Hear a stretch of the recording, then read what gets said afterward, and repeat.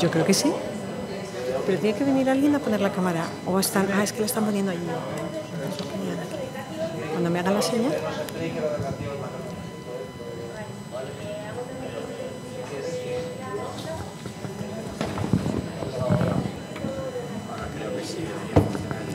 Tranquilo. ¿Cómo, es, ¿Cómo, es, al final de todo? Si, da si va bien y si no nada. Vale, gracias.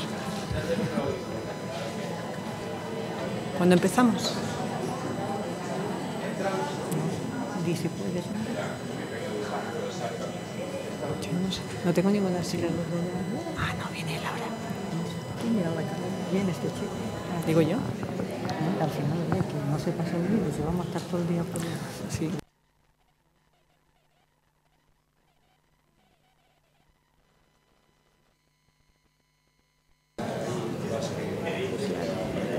Entonces, cuando, ¿nos dices tú cuándo empezamos? ¿Y ¿Nos dices tú cuándo empezamos?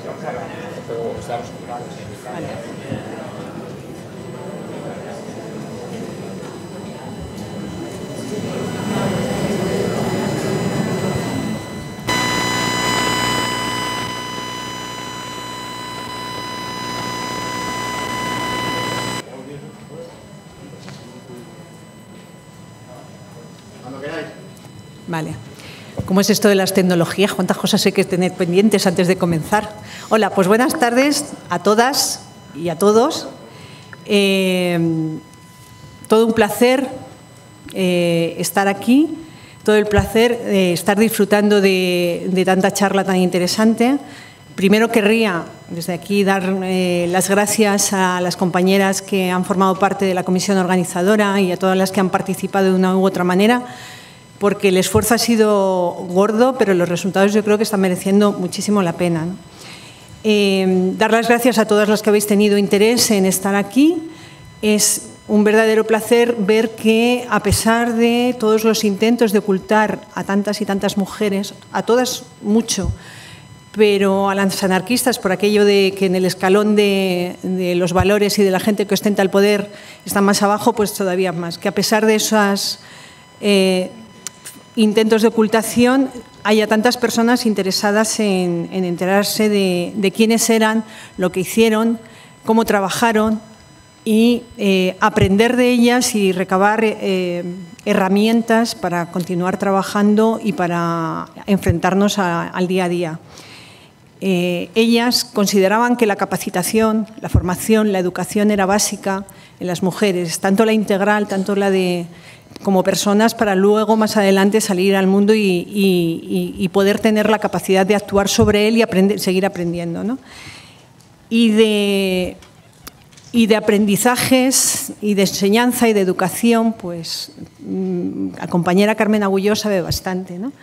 Eh, con la, quien nos va a dar ahora la siguiente comunicación, la siguiente charla, ponencia. Carmen Agulló eh, profesora titular de la Universidad de Palencia, profesora de Historia de la Educación, es una profunda conocedora de, eh, la, historia de la educación en el País Valenciano, una profunda conocedora de la Escuela Libre de Enseñanza, de las escuelas de, de Ferrer y Guardia, la hemos usado y aprovechado en muchas ocasiones, siempre ha estado dispuesta a venir allá donde la hemos llamado, tanto en jornadas como en Radio Clara o allá donde la hayamos pedido. Todo un placer colaborar con ella en múltiples ocasiones. Es autora de numerosas publicaciones, de las que a mí me gustaría resaltar dos. Junto a Pilar Molina fue coautora del libro Antonia Maimón, anarquista, maestra y naturista, eh, no está en los stand, prácticamente está agotada la edición, nos contaba, contaba antes Carmen, pero la verdad es que eh, recuerdo que Pilar Molina en su momento tuvo un gran interés en sacar, la, sacar la memoria de esta mujer adelante y, junto a Carmen hicieron una labor estupendísima. De paso, recuerdo que quien era la, la coautora del libro, Pilar Molina, eh, que está en la exposición que, tenemos en la sala contigua, fue una de las mujeres que más ha trabajado para recuperar no a todas las mujeres libres, aquellas que, que porque, por su presencia y porque fueron las, las que lo iniciaron eh, han sido más fácil de sacar, pero también a otras muchas, ahora nos lo contará Carmen, por lo que me ha comentado, algo, algo dirá sobre ello. Eh, de las que más complicado ha sido recuperar porque estaban en una segunda o tercera línea. Eh, Pilar Molina quiso dejarnos en 2017, pero 2008, perdón, 2008, pero estoy segura de que hubiera estado orgullosísima de ver lo que estamos haciendo estos días y a mí me gustaría mucho recordarla.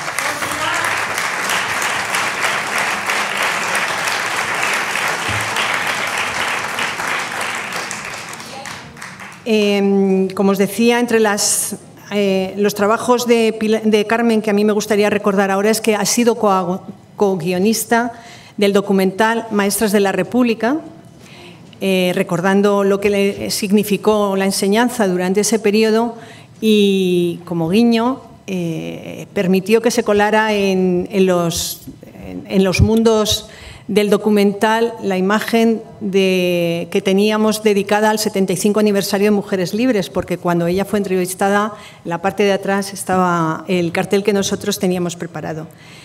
Eh, eh, documental que ganó, si recordáis, el Goya al mejor documental hace algunos años.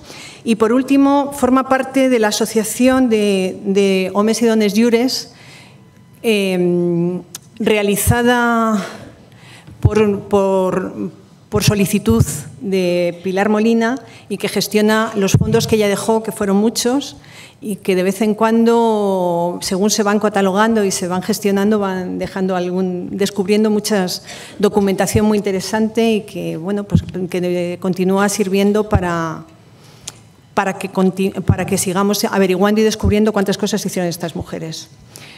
Y sin más os dejo, encuentros y reencuentros, Mujeres Libres en el Franquismo es la ponencia que Carmen nos va a contar y con ella os dejo.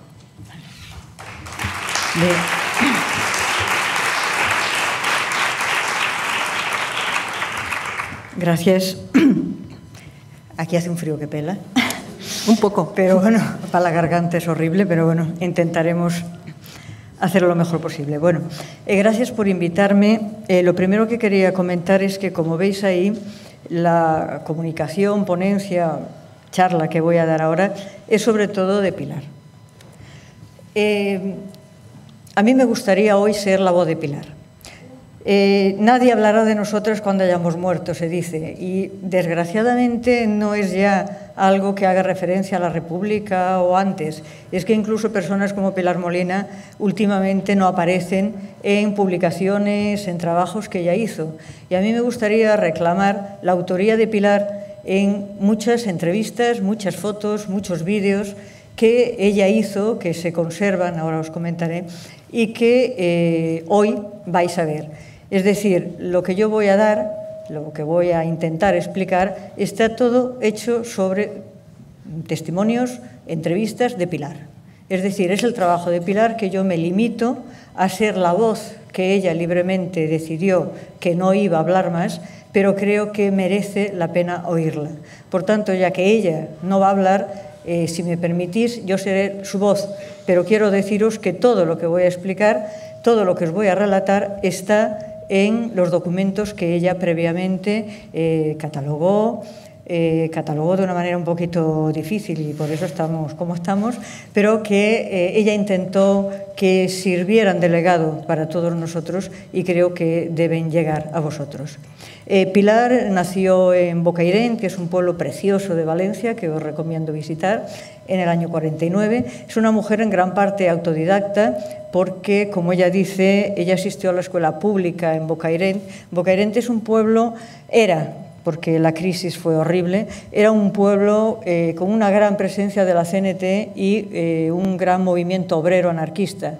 Eh, Bocairent estaba directamente conectado con Alcoy y por tanto el movimiento anarquista tenía, era del más radical y de los que tenía más fuerza.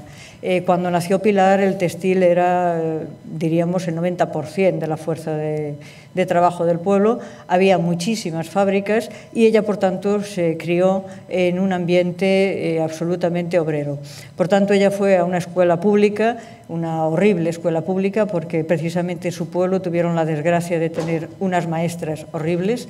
Ella todavía se acordaba de ellas, pero bueno, afortunadamente ella pudo sobre, diríamos, sobreponerse y tuvo, desde un punto de vista autodidacta, una gran formación, eh, aprobó el acceso a la universidad a los 25 años, empezó a estudiar psicología, ella trabajó en Inglaterra, trabajó en Francia, por tanto es una mujer que tenía una gran preparación y eh, se puso como meta recuperar eh, lo que serían sobre todo las mujeres anarquistas no solo anarquistas, pero ella me decía, a mí realmente las que me interesan son anarquistas y mujeres libres. Entonces ella tuvo todavía acceso a muchas mujeres que desafortunadamente ya no vive ninguna de ellas, pero llegó en el momento y tuvo, porque tiene una gran facilidad para hablar con ellas, eh, pudo contactar con ellas y por tanto nos ha dejado unas magníficas entrevistas de las cuales yo creo que todavía hay mucho que nosotros podríamos sacar.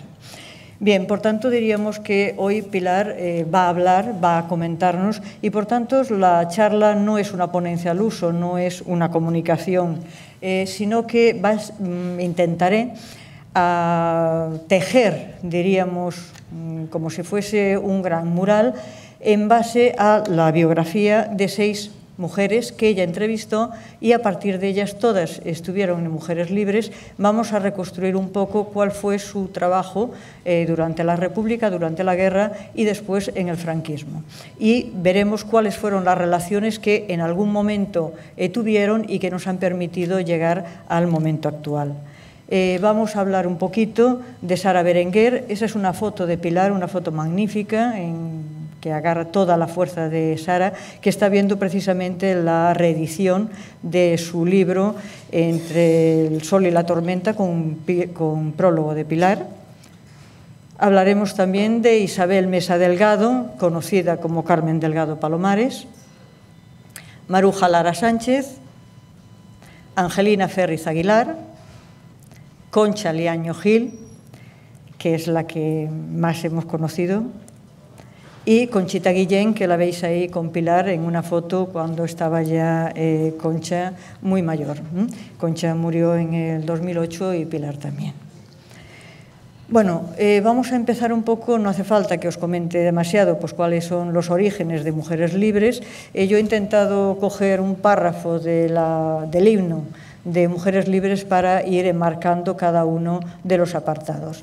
Eh, los orígenes de Mujeres Libres están ya claros, lo sabéis. Empieza el Grupo Cultural Femenino en Barcelona en el año 34, Libertad Ródenas, Pilar Grangel, Soledad Estorá, Aurea Cuadrado, Conchita Liaño y se une con Mujeres Libres en Madrid en abril del 36, en donde están las tres personas más conocidas, que serían Lucía, Amparo y Mercedes.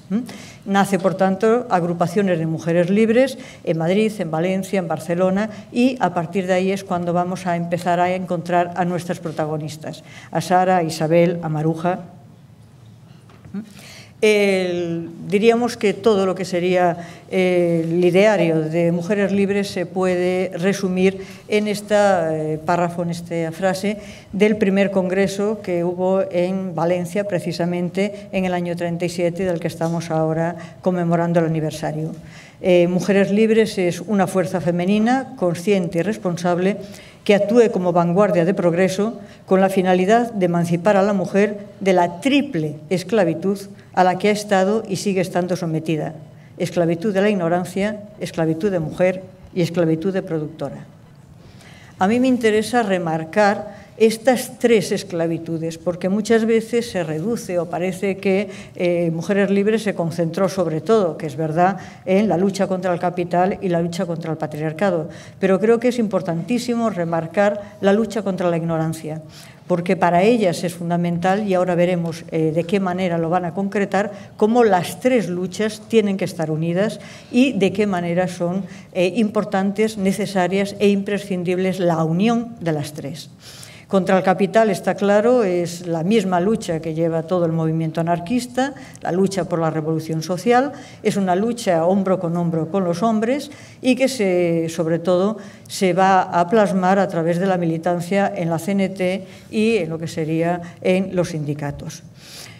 La lucha contra la ignorancia, ellas decían, cultura es libertad. Creo que es importante, ahora nos detendremos un poco, en hablar cómo eh, a principios del siglo XX los índices de analfabetismo de la población eran enormes y, sobre todo desde el movimiento obrero, había una lucha específica. Tanto el Partido Socialista como desde el movimiento anarquista se consideraba que el Estado no daba respuesta evidentemente porque no le interesaba a las necesidades de la clase trabajadora y tenían que ser los propios obreros los que pusieran en marcha sus organizaciones educativas y se formaran. Por tanto, la lucha contra la ignorancia, el hacer que las mujeres que dentro del analfabetismo eran las más analfabetas, eh, pudieran acceder a un mínimo de lectoescritura y a partir de ahí a formarse una eh, conciencia crítica, creo que es fundamental y por tanto es básico tanto para la lucha contra el capital como la lucha contra el patriarcado. La lucha contra el patriarcado, evidentemente, sería la lucha específica de las mujeres, una lucha en la que tendría una gran importancia la revolución sexual y que sería a partir de eh, mujeres libres. Bueno, eh, cuando nosotros hablamos de eh, lo que sería la lucha contra el capital, diríamos que se marcaría dentro de la CNT y mm, las mujeres entrarían dentro de lo que sería aquí vemos cómo empezaron ellas a militar en la CNT. Eh, la única de todas las que nosotros vamos a hablar que no estaba afiliada a la CNT fue Concha Guillén. Ella era trabajadora del textil, pero en esos primeros momentos, en los años 30, ella no militaba en la CNT. Las demás todas. Concha Liaño estaba en la CNT de Barcelona, Angelina Ferriz trabajó desde los 14 años en una fábrica de cartón, era miembro del Sindicato de Artes Gráficas de la CNT en Valencia, Maruja Lara fue secretaria del Sindicato de la Limpieza de la CNT en Granada y después del Sindicato de Enfermeras en Valencia. Isabel Mesa era del Sindicato de la CNT de Oficios Varios en Ceuta y después allí tuvo el número uno de mujeres del gremio de la aguja. Y Sara Berenguer, que ejerció diferentes profesiones, en el año 36 era mecanógrafa del Comité Revolucionario del Escors de la CNTFAI y colaboraba con el Comité Regional de las Industrias de Edificación, Madera y Decoración. Por tanto, como podéis ver, todas ellas eh, entrarían en un primer momento en eh, esa categoría de mujeres trabajadoras, de mujeres obreras. Ellas remarcan que, sobre todo después cuando hablemos de mujeres libres, no es una organización de intelectuales, no es una organización de mujeres de la élite, sino que es una organización en la cual tienen cabida y además van a tener una lucha destacada las obreras, las mujeres que ellas mismas han conseguido un cierto nivel educativo y que sobre todo van a intentar que el resto de mujeres eh, eh, prendan también conciencia de la doble explotación. Por tanto, creo que eh, queda demostrado cómo todas ellas participaban del movimiento sindical y cómo todas tenían una militancia activa dentro de la CNT. Eh, esa foto que tenéis ahí es un poco anacrónica, pero es muy interesante. Es un carnet del año 78 de la CNT-AIT de Valencia que pertenecía precisamente a Maruja Lara. Ese, nosotros guardamos el, el carnet original y creo que es también interesante recuperar este tipo de documentos que la mayoría de la gente pues no los conserva. Bien, la lucha contra la ignorancia yo creo que es muy interesante. Como os comentaba antes, en el año 1900 en España había un 56% de hombres analfabetos y un 71% de mujeres analfabetas. ¿eh? Es decir, comenzando el siglo XX, de cada 100 mujeres, 71 no sabían leer ni escribir. Veinte años después, ¿eh? había rebajado al 58% y en el año 30 estaban, eh, había bajado del 50 y era un 47%. Pero podéis pensar la barbaridad que significa que de cada 100 mujeres, 47 no tengan el acceso a lo que serían los elementos básicos para crear una conciencia propia. Eh, yo creo que cuando nosotros hablamos, criticamos, y tenemos razón de criticar tanto a Margarita Nelken como a Victoria Kane, cuando hablaban de aplazar el voto para las mujeres, eh, y ellas decían, es que las mujeres no están educadas. Efectivamente, el voto es un derecho, según decía Clara Campoamor, pero también viendo que aproximadamente el 47% de las mujeres no eh, sabían leer ni escribir, también entendemos el índice de manipulación y la cantidad de influencia creencias extrañas que podía haber sobre las mujeres. Por tanto, yo creo que es básico que se luche contra la ignorancia y que esa visión que tuvieron ellas de que era absolutamente necesario formar a las mujeres no se remarca demasiado. Yo creo que a veces nos perdemos.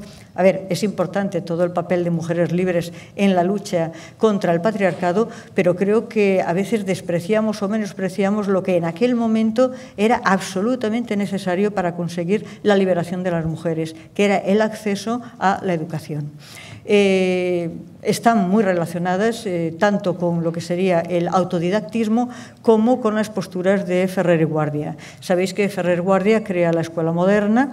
La escuela moderna es una escuela eh, que a mí me gusta remarcar mm, dos características que solo las plantea Ferrer Guardia, que es la coeducación de sexos y la coeducación de clases.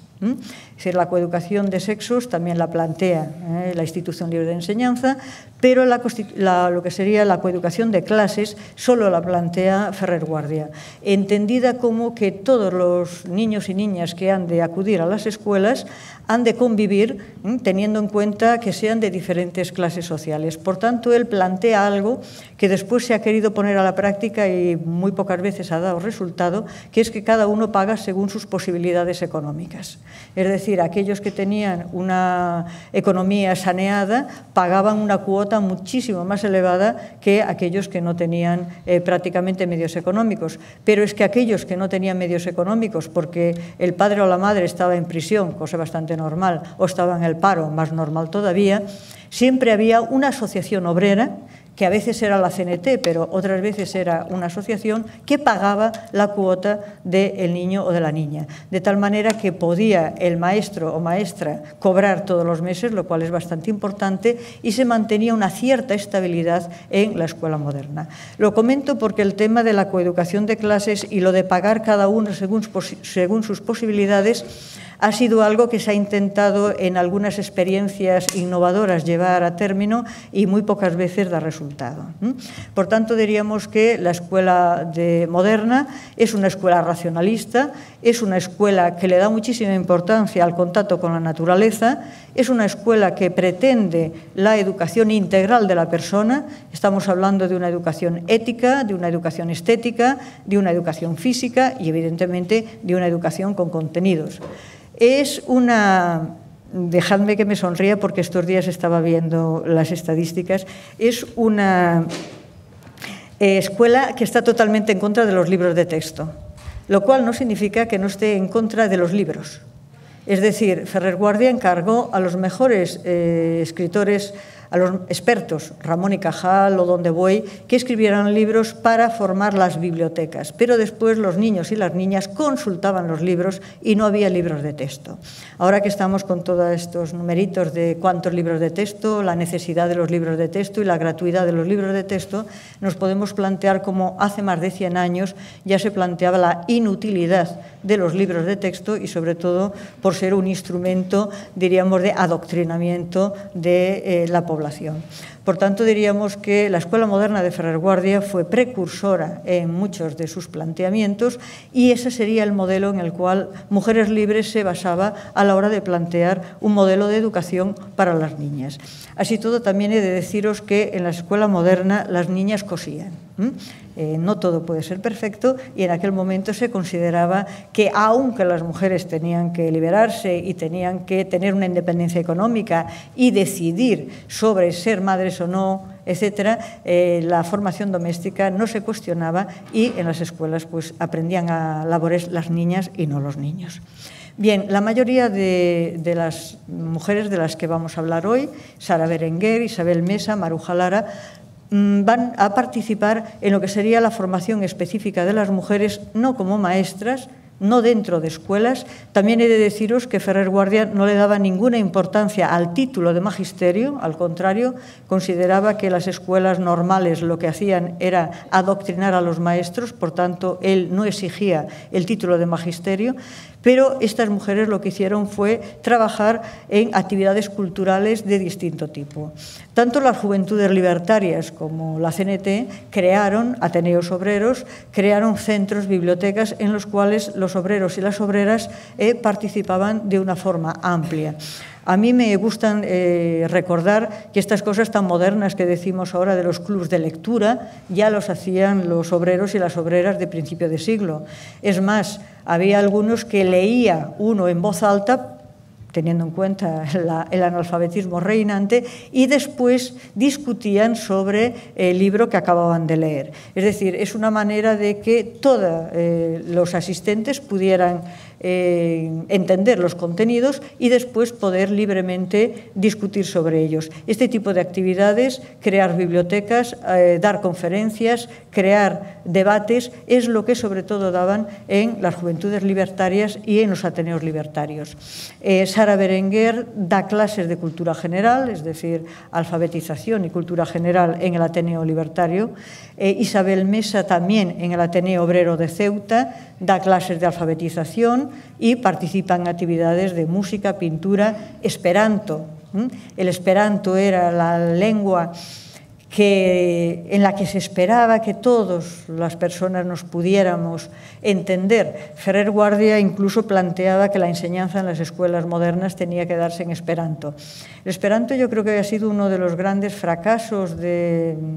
Eh, por una parte porque no es la lengua de nadie, no se la considera ninguno como lengua propia y por tanto no se la quiere y no se le da esa importancia que se le da a las lenguas maternas. Pero el esperanto era una lengua que es muy fácil de entender y que a comienzos de siglo no solo en los círculos libertarios sino en muchos círculos eh, republicanos se le daba una gran importancia porque se consideraba que era la manera en la cual, mediante la cual todo el movimiento obrero y todas las personas nos podíamos entender. Por tanto, los ateneos obreros los Ateneos libertarios solían tener clases de Esperanto en los cuales participaban de forma activa las mujeres. Maruja Lara también va a participar dando debates y conferencias en las juventudes libertarias. Cuando hablo de las juventudes libertarias es porque estas mujeres, la mayoría eran muy jóvenes cuando empezó la guerra y por tanto, diríamos, su militancia la tenían en las juventudes libertarias. Estaban en juventudes libertarias y estaban en la CNT. Eh, pero tal vez de lo que hoy más estamos hablando sería del tema de la lucha contra el patriarcado.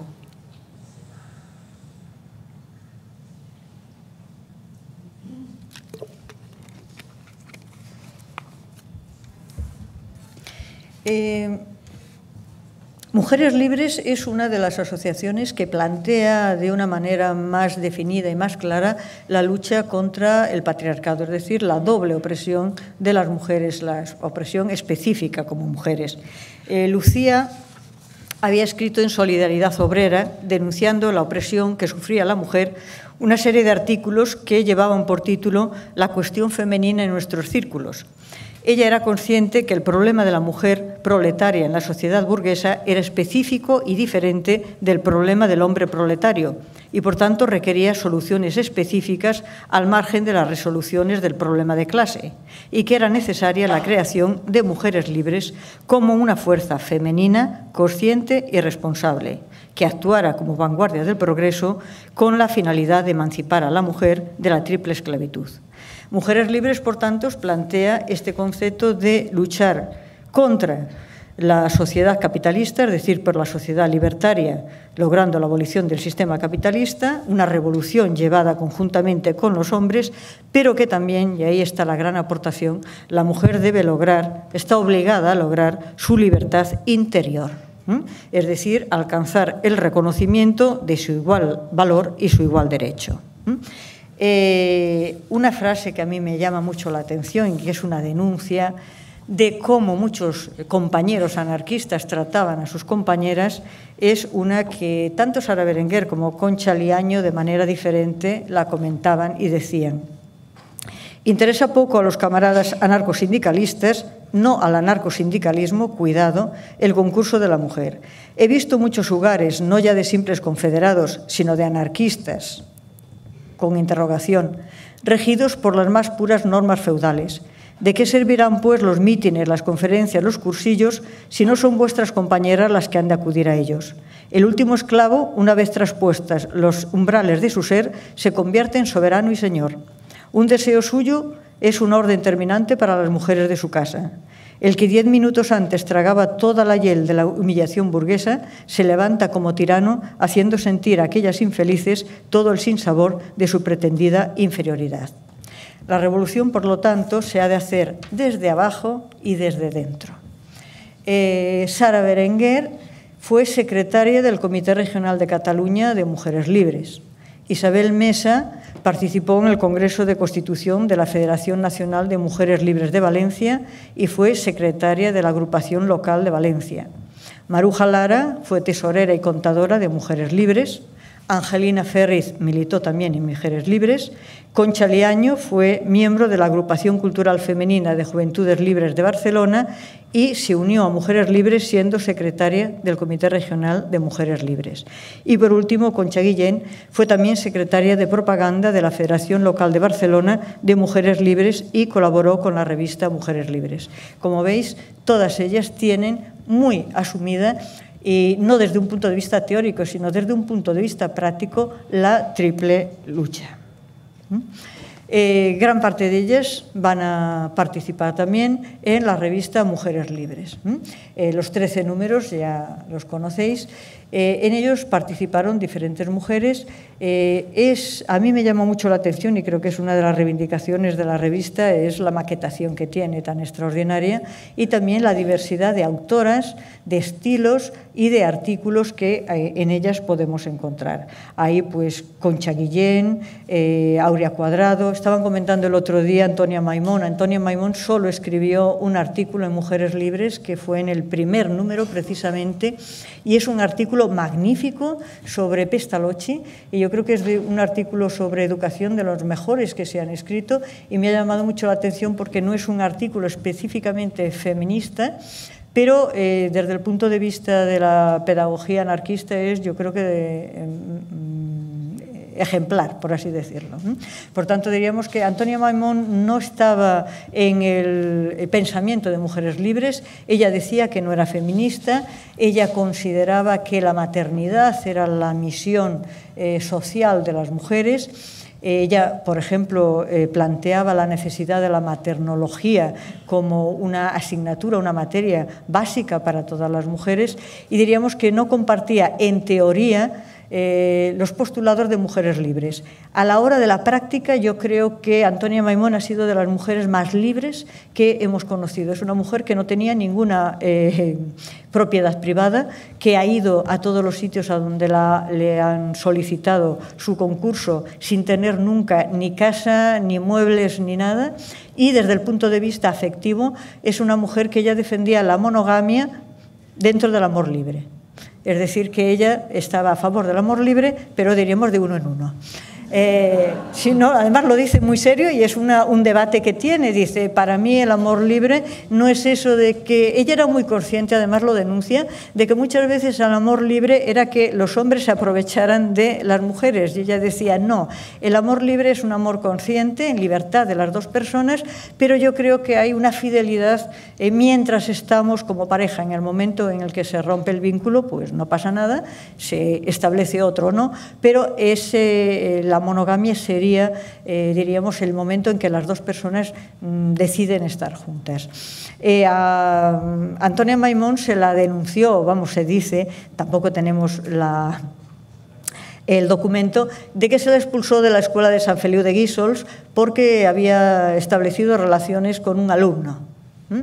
Eh, un alumno significa normalmente una persona mucho más joven que ella y ya sabéis que este tipo de relaciones en los cuales la mujer es mayor y además tiene, diríamos, más sabiduría, más autoridad y más poder que el hombre, pues ni por los camaradas compañeros anarquistas estaba demasiado bien vista. Por tanto, Antonia Maimón es de esos casos curiosos en los que la vida práctica va por delante de la teoría. Estamos acostumbrados a gente que desde el punto de vista teórico es muy progresista, muy vanguardista, muy avanzado y después en su vida privada eh, pues a veces es todo lo contrario de lo que predica y en cambio en Antonia Maimón es al contrario, es una mujer con una vida absolutamente de mujer libre. Por tanto, a mí me ha llamado la atención que solo colaborara en el primer número, que también es interesante, es decir, para mí tiene mucho valor el atreverte a colaborar con una publicación que no sabes lo que va a ser, que no sabes, eh, diríamos, si va a ser bien aceptada o no, pero te piden y tú estás ahí, estás ayudando, estás con ellas y, por tanto, eh, en ese primer número aparece el artículo de Antonia Maimón. Y sí que ya os digo que han colaborado algunas de las mujeres que eh, nosotros eh, vamos a continuar ahora viendo su trayectoria. Eh, durante la guerra, eh, las mujeres, por rutas ardientes, se van a incorporar como milicianas, van a participar en colectividades, en industria, en el campo, van a hacer visitas al frente, participar en hospitales de sangre, ayuda a los refugiados, guarderías infantiles, talleres de confección, todo lo que nosotros diríamos que entraría en el paraguas de la solidaridad. Bien, ¿cuál fue el papel durante la guerra de nuestras mujeres? Sara Berenguer se integró en la Solidaridad Internacional Antifascista, la SIA, en el año 38. Isabel Mesa ejerció como enfermera en Valencia. Maruja Lara estuvo como enfermera en Gandía, en Valencia y también en una guardería. Angelina Ferriz estaba en una fábrica de cajas de cartón que fue declarada de utilidad porque las cajas de cartón se utilizaron para, eh, em, para empaquetar los proyectiles, entonces se la declaró industria de guerra y ella fue nombrada la delegada de fábrica, es decir, era la responsable, y Concha Liaño, sobre todo, a lo que se dedicó fue a la propaganda organizativa, es decir, a ir creando diferentes eh, grupos de mujeres libres a lo largo de toda Cataluña. Es decir, que todas ellas tuvieron una participación no de una forma demasiado, eh, diríamos, en el frente, pero sí eh, solidaridad y de trabajo en la retaguardia. Eh, ellas colaboraron también en la capacitación general y técnica de las mujeres, eh, por ejemplo, en la Casa de la Cultura, que estaba en Valencia, en la calle La Paz, en el Instituto de Mujeres Libres y Casal de la Dona Treballadora de Barcelona, eh, ayudando en cursos de poricultura, etc. ¿Qué pasa cuando acaba la guerra? Bien, este es el apartado que yo os voy a comentar un poquito, es el más original, que sería los pies en la tierra, la frente en lo azul, la lucha antifranquista. Y diríamos que hubo dos caminos, el exilio y las que se quedaron. ¿vale? Eh, a mí me gusta comentar una frase de Sara Berenguer. Sara Berenguer dice, al final de la guerra quedó destruido aquel plantel floreciente, toda aquella acción de progreso y de libertad de la mujer. La eclosión esperanzadora que había empezado a enraizar en las mujeres, las ilusiones, todo se perdió, cercenado por un ambiente de traición al ser humano. El pueblo perdió la guerra y con ella la revolución, la libertad, la confianza, la luz radiante de aquel nuevo día que nos había alumbrado nuevos senderos, donde se podía andar sin ser agredidas por la mediocridad ni por las exigencias familiares. En España, muchas de nuestras compañeras acabaron encarceladas, fusiladas, burladas, despreciadas. A las expatriadas o exiliadas, otros zarzales nos obstruyeron el camino, hallando ante nosotras el abismo de lo desconocido. La organización Mujeres Libres quedó desparramada después de la guerra. En el, al exilio fueron Sara Berenguer, Concha Liaño y Concha Guillén. Eh, las tres salieron hacia Francia, las tres atravesaron por la frontera a pie, las tres sufrieron algo que todas la, las personas que sufrieron aquella exilio lo comentan de una forma eh, muy dolorosa. Ellos pensaban, y ellas, que llegar a Francia era llegar a la patria de la tierra de la libertad, de la fraternidad y la solidaridad, y lo que se encontraron fue con eh, unas, eh, sobre todo los senegaleses, que es que lo que más les asustaba, unas personas que no solo les impedían el paso, sino que las desplazaron a campos de concentración o a eh, sitios en los que tuvieron que esperar que alguna persona fuera a dar la cara por ellos o tener documentación para poder continuar eh, su camino. Un camino que fue muy triste porque la, algunas se incorporaron a la resistencia y una vez que empezó eh, la Segunda Guerra Mundial eh, tuvieron otra vez que eh, huir porque eran perseguidas no solo por estar fuera contra Franco, sino también precisamente por estar contra el fascismo.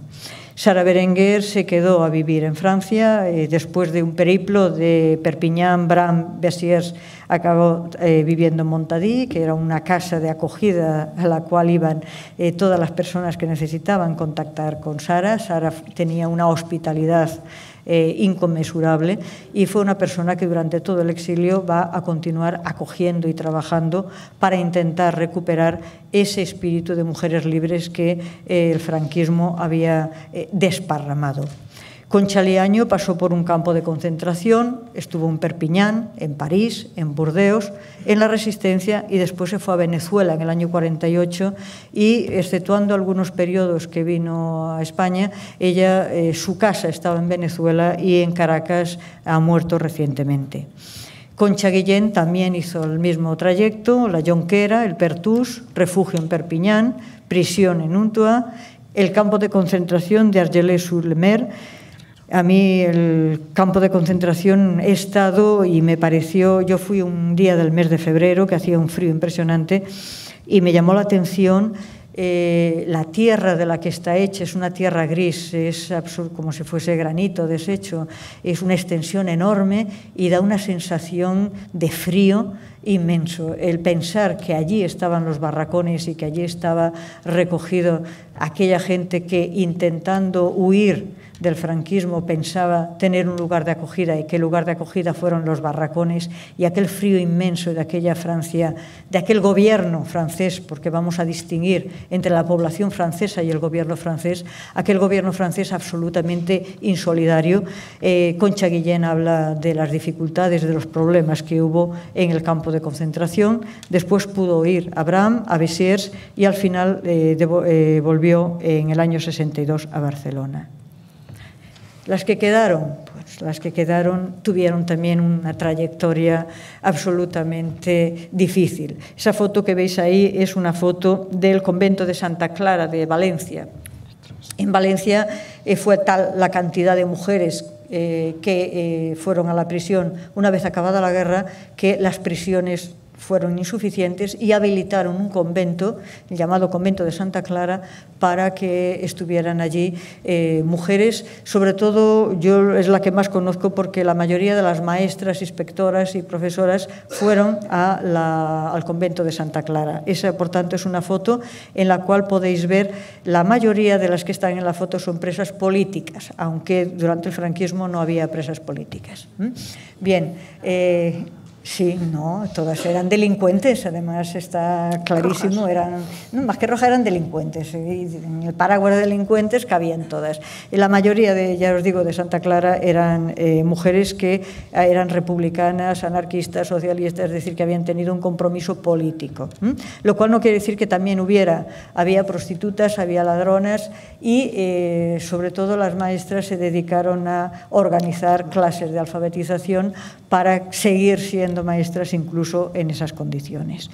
Bien, de las que nosotros estamos siguiendo el rastro, estas mujeres libres en el franquismo, Isabel Mesa eh, se trasladó junto con Maruja Lara, las dos se conocieron en el año 37, e intentaron huir por el puerto de Alicante. No hace falta que os cuente la gran ratonera en la que se convirtió el puerto de Alicante, en la que las personas que estaban allí esperando ese barco que nunca llegó, eh, muchas se suicidaron y otras fueron conducidas a campos como el campo de Albatera, al que fueron conducidas tanto Isabel Mesa como Maruja Lara. Eh, las dos pudieron huir, Isabel Mesa fue a Almería, eh, después fue a Málaga, allí creó un periódico clandestino que se llamaba El Faro de Málaga, fue detenida y fue condenada a dos penas de muerte. Eh, afortunadamente ninguna de las dos se llevó a cabo, pero la condena la tenía. Maruja Lara también eh, llegó al puerto de Alicante, estuvo en el campo de Albatera y pudo huir a Granada. Angelina Ferriz, por su parte, fue la que estuvo impresionada durante un año en la prisión de mujeres del convento de Santa Clara. Eh, ¿Qué pasa cuando salen de la cárcel, cuando intentan otra vez rehacer su vida. Esta yo creo que es la parte más interesante porque ¿qué pasa con estas mujeres que habían tenido esa militancia en la CNT, que habían tenido la militancia en Mujeres Libres en los tiempos duros del franquismo? Bien, Carmen Delgado cambia el nombre, ¿eh? Eh, cambia varias veces de nombre, va perdiendo el apellido Mesa y eh, se va a trasladar a Valencia y allí creará lo que vamos a detenernos ahora más, que es la Unión de Mujeres Democráticas. Eh, vuelve a ser detenida en el año 56, es torturada, hablaremos, comentaremos ahora un poco. Más que nada para deciros que ellas continuaron trabajando en la clandestinidad, eh, continuaron manteniendo la, diríamos, la luz en la medida de lo posible. Eh, Maruja Lara se fue a vivir a Valencia, a casa de Amelia Torres, donde estaba Carmen Delgado, eh, montaron un taller de costura que no les dio mucho resultado y montaron un kiosco del que hablaremos ahora porque fue una aventura extraordinaria. Angelina Ferriz, por su parte, va a trabajar en una fábrica de azulejos eh, visitando a los presos va a conocer a su compañero y participó en la resistencia libertaria clandestina. Esa foto que tenéis ahí es una foto muy reproducida, pero pocas veces se dice que la autora es Pilar Molina. Y como vais a ver, porque ahora veréis la misma foto desde otro ángulo, si esta es la que normalmente aparece reproducida, ahora veréis otra porque Pilar hizo varias fotos y esta es la que a ella más le gustó. Pero ahora veréis cómo, os comentaré la historia también de la bandera, cómo eh, se conservó esa bandera, eh, fue bordada en el año 46 y fue prácticamente increíble cómo sobrevivió y cómo se ha podido todavía recuperar. Bueno, eh, durante el franquismo continúan trabajando en la CNT. E Isabel Mesa tiene una frase magnífica. Isabel Mesa la detienen eh, y le dicen que la CNT no existe y ella tiene la gallardía de decir, si yo estoy viva, aún vive la CNT. ¿Mm? Es decir, que mientras ella estuviera viva, el sindicato se mantenía vivo. Eh, la CNT en Valencia tuvo muchísimas caídas, tuvo muchísimos, eh, bueno, que os voy a contar, infiltrados, delaciones, caídas. En una de ellas cogieron a, a, Isabel y es cuando ella dijo esa frase que a mí me parece magnífica porque creo que es decir, bueno, mientras yo continúe, continúe el sindicato. Es decir, que habréis acabado con, pensáis que habéis acabado con nosotros, pero mientras uno o una de nosotras continúa vive, viva, el sindicato continúa. Angelina Ferriz colabora con el Comité Nacional de la CNT en la clandestinidad y Concha Guillén, por su parte, eh, intenta reconstruir la CNT en el exilio. Esa es una foto también de Pilar que está un poco eh, movida porque creo que no era muy fácil hacer también las fotos en aquel momento. Bien, en lo que más os voy a detener es en cómo eh, recuperaron o reconstruyeron lo que sería la Unión de Mujeres Demócratas. La Unión de Mujeres Demócratas eh, la fundan en el año 1942 por eh, sugerencia de Lucía Sánchez Aornil. Amelia Torres, que es una mujer en una presencia extraordinaria, su hermano, Domingo Torres Maeso, fue el último alcalde republicano de Valencia, él había, estaba en México, afortunadamente eh, estaba en México cuando acabó la guerra, pero fue el último alcalde republicano. Su hermana Amelia eh, fue a Madrid. En Madrid se entrevistó con Lucía Sánchez Aornil y con María Guinoa, quienes le dijeron que tenían que continuar en la lucha. Vuelve Amelia a, Valencia y en su casa estaban viviendo eh, Maruja Lara y Isabel Mesa. Ella conocía a muchas mujeres y empezaron a buscar casa por casa para construir, para reconstruir una formación de mujeres. Eh, el trabajo era ir casa por casa diciendo que se apuntaran y, imprimieron unos pequeños sellos para cotizar. El sello era una mujer con el gorro frigio, ponía UMD y ponía QL. QL significaba queremos libertad. Esos sellitos los vendían a 0,50 el sello y dice que eh, pudieron eh, alcanzar hasta 200 pesetas, lo cual en aquella época, en los años 40, es una cantidad muy importante. Eh, dentro de la Unión de Mujeres Demócratas, estamos hablando de los años 40, inmediata posguerra, la clandestinidad era, era jugártela y ellas tuvieron ese atrevimiento. Dice que eh, fueron aproximadamente unas 50 mujeres. Entre ellas eh, estaban Soledad López, que la conocían como La Brava, Teresa Arroyo, Lola Díez, Maruja Lara, Isabel Mesa, Lola Carrasco, Rosa Chazán, Amelia y Patrio Torres, las dos hermanas de Torres. Eh, de todas estas mujeres, es lo que estaba comentando antes, no hay prácticamente biografías, no sabemos qué hicieron, no sabemos nada de su vida.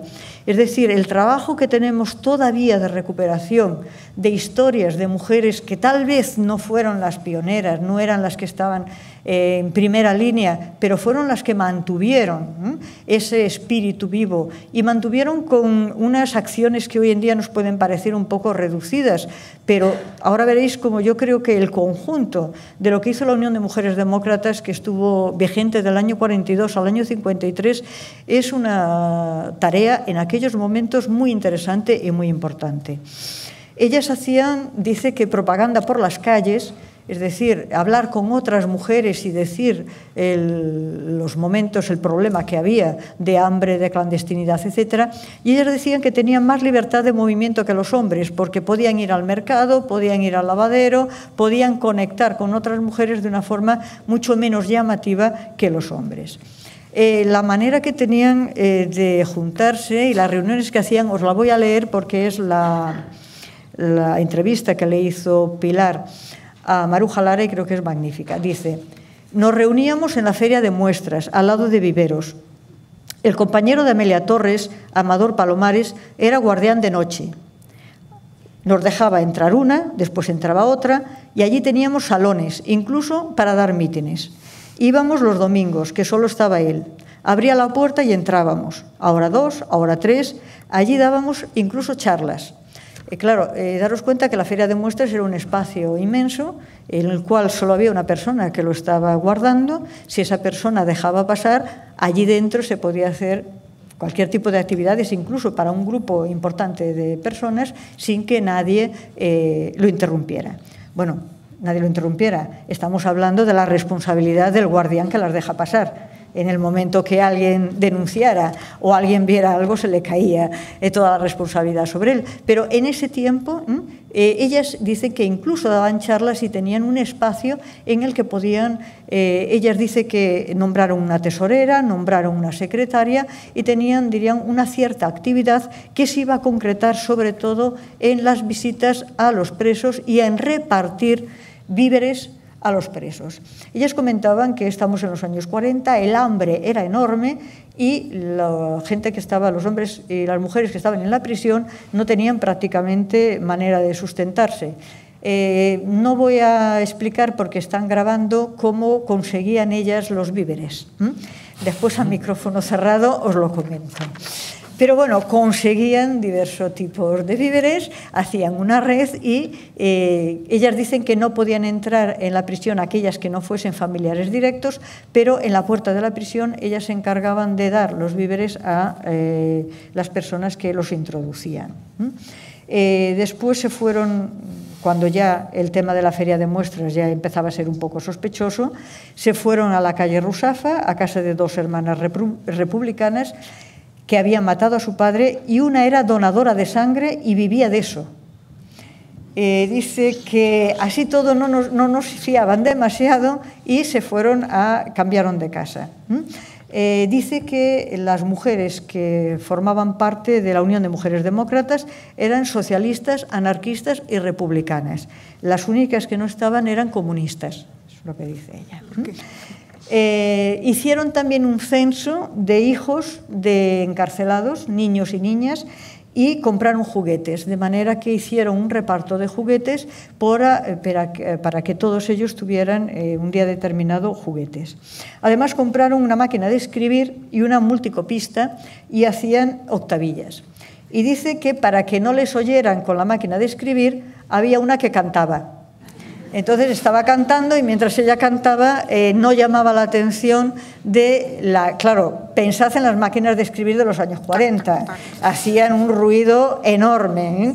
Eh, pues para no llamar la atención, una cantaba, pues había una señora que cantaba y ellas estaban haciendo las octavillas. Dice que las octavillas ponían fuera el fascismo, viva la libertad, tenemos que luchar por los que están en la cárcel, tenemos que luchar por los hijos de los que están en la cárcel, es decir, que eh, se atrevían eh, imaginaros que es una imprenta clandestina, lo que significa en ese momento, años 40, primeros 50, que te pillen con una imprenta clandestina.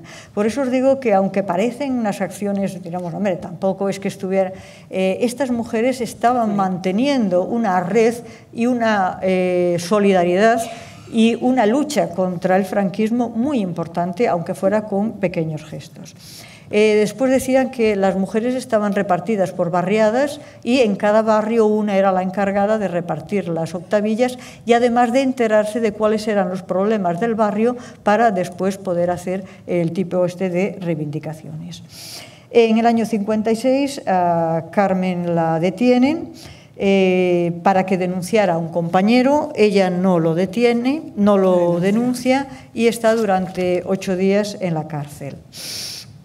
Eh, cuando sale de la cárcel, la recoge un taxista y le dice si la lleva a casa o al cementerio de las palizas que le habían dado. Es decir, que no estamos hablando de bromas, no estamos hablando de unas personas que hacen unos gestos que no tienen demasiada importancia. El franquismo en aquel momento estaba con toda su virulencia y estas mujeres, con estos eh, actos de solidaridad, estaban sobre todo, no solo eh, haciendo solidaridad, sino hay una frase que a mí me encanta, que dice, lo que hacíamos era mantener viva la esperanza. Diez minutillos. Em,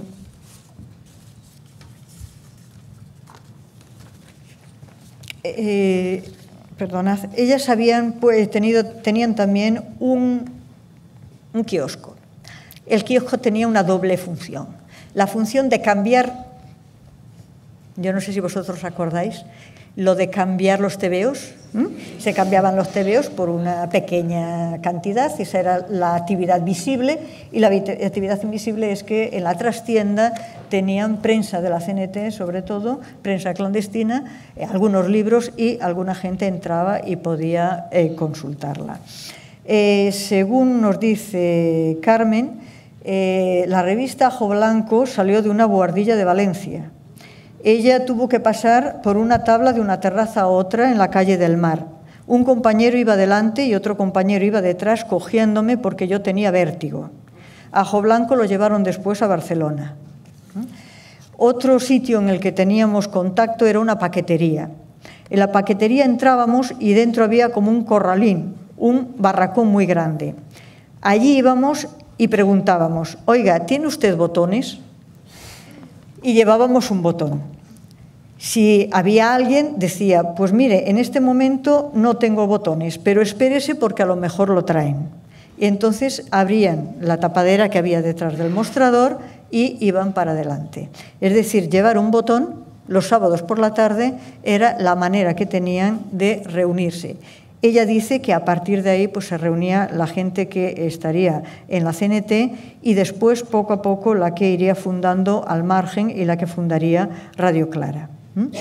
Eh, ella decía que en la organización, sobre todo en la CNT, con los hombres siempre ha habido un respeto máximo, pero también con reserva.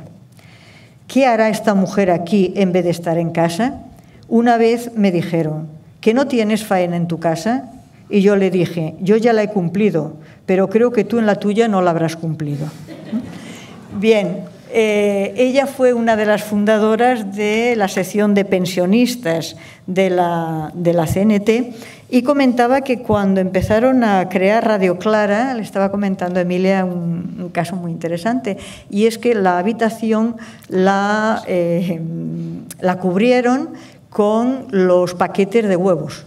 ¿Eh? Sabéis que los paquetes de huevos eh, se amortigua muchísimo el sonido, entonces habían recubierto toda la pared para eh, poder hablar sin molestar. Bueno, al mismo tiempo, ya en los años 60, en el exilio, en Londres, Suceso Portales, Sara Berenguer y otras compañeras editan el boletín portavoz de la Federación de Mujeres Libres de España en el exilio, que pasó a la redacción a Beciers y publicaron el último número en el año 76.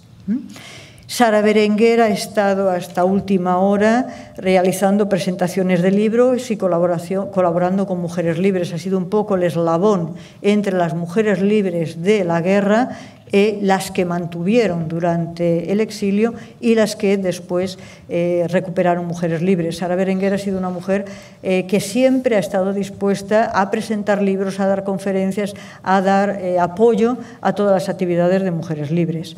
Maruja Lara y Carmen Delgado fueron colaboradoras en Libre Estudio, en Radio Clara, formaron las dos partes de la Federación de Pensionistas de la CNT, del Ateneo al Margen, de la Fundación Salvador Seguí y de Mujeres libres, dones lliures, en donde, según comentan, enseñaron a vivir la anarquía. Y Concha Liaño, que es la última que nos ha dejado con una vitalidad absolutamente increíble. Ahí la tenéis hace unos años en una charla que hicimos en la universidad, precisamente de homenaje a, a Pilar Molina. Estamos Manolo San Martín, eh, Alfonso Cervera, eh, Concha y yo. Eh, Concha también ha participado en, todas las, eh, todos los congresos, celebraciones de mujeres libres que, ha habido y es una mujer que tenía una vitalidad absolutamente increíble. Venía de Caracas a Valencia o a España sin ningún tipo de problema y hemos contado con su colaboración hasta última hora. Bueno, a mí me gustaría acabar diciendo, pues alguien habla de vosotras, ahí hay una larga eh, relación de mujeres que hay que recordar. Lucía, Amparo, Pilar, Mercedes, Concha Guillén, Sara, Soledad, Aurea, Libertad, Pepita, Maruja, Angelina, Isabel y otra que eh, aquí la autora de la foto, esta foto la hizo Emilia en Radio Clara, en la cual están Concha Liaño, Pilar Molina, Josefina Juste y Pepi Cuesta, que es la madre de Josefina. Esa foto la quiero poner un poco para ver esa eh, unión que ha habido entre las mujeres libres de los años 30, las mujeres libres que han continuado durante el franquismo y las que ya en la transición, como sería Pilar, han eh, vuelto otra vez a, pues, a poner en en movimiento Mujeres Libres. Creo que es importante que continuemos hablando de ellas y para acabar, si me permitís, os voy a leer para que veáis que eh, cuando Pilar Molina trabajaba sobre la recuperación de la memoria de las mujeres, no lo hacía desde un punto de vista objetivo y neutro, que es eso que dicen que tenemos que hacer los historiadores. Ella se implicaba totalmente porque consideraba que una parte de su militancia era precisamente recuperar la voz, la palabra, la imagen de las mujeres.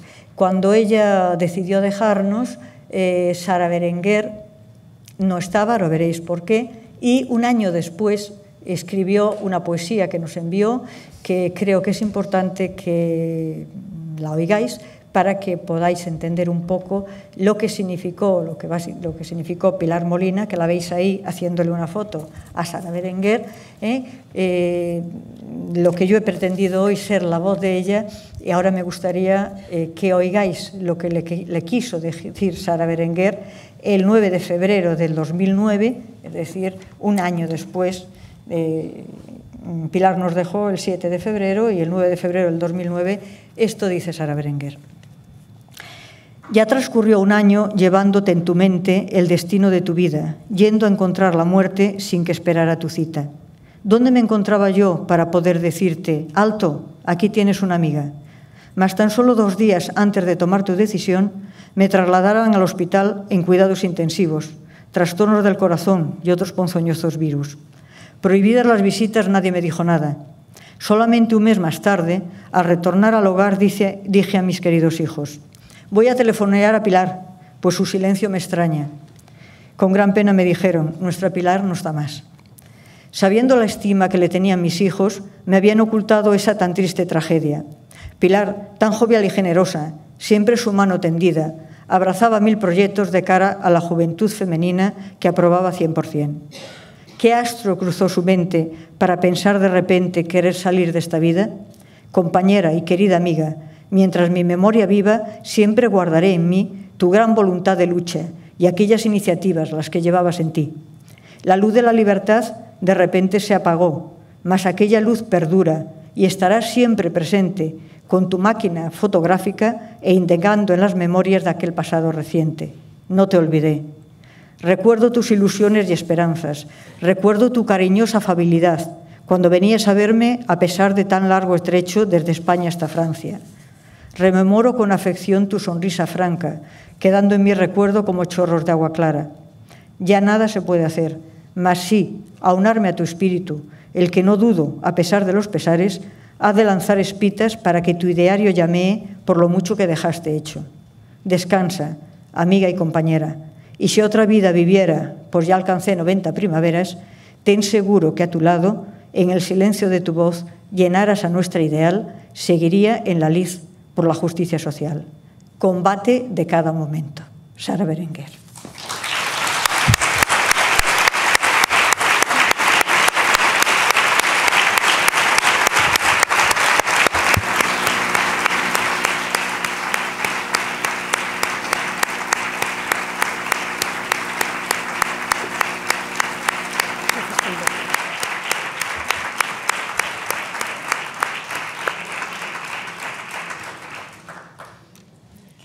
Ahora antes de que empecemos los debates, las preguntas, eh, comentaros que Pilar dejó escrito eh, unas notas en las que decía que todo lo que era propiedad suya, eh, los bienes materiales y documentos, etcétera, había de ser gestionado por una asociación que ella quería que se constituyera, que se diría Asociación de Dones y Homes Lliures, ella dijo quiénes serían las personas que, que quería que estuvieran en ella y también las que quería que no estuvieran. Y, así de claro, así de claro. Eh, y que eh, nosotros nos ocupáramos de eh, gestionarlo. Eh, bueno, eh, si alguna vez, espero que no, pero si tenéis la idea de hacer un testamento hológrafo y no ir al notario, no se os ocurra porque no sirve absolutamente para nada. Es decir, la familia pues dijo que, que ella podía haber dejado a quien le diera la gana, pero que legalmente todos los bienes de una persona cuando fallecen son de su familia y por tanto pues bueno pues las cintas y los papeles que no los quedáramos pero lo que eran los dos pisos que tenía y otras cosas a ver, Pilar había pensado dejar los dos pisos, eh, uno como sede de la fundación y el otro venderlo para poder eh, gestionar la fundación. Eh, como la familia dijo que de eso nada, pues nos hemos quedado evidentemente con los papeles, con los vídeos, etcétera, e, eh, cuando la familia ya decidió darnos una cantidad, hemos empezado a catalogarlo.